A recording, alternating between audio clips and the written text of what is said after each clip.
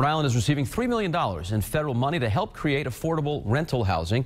Advocates for low-income residents say Rhode Island has thousands fewer rental units than it needs for low-income people. States can use the money for things like buying and developing real estate, demolition, financing, and relocation help.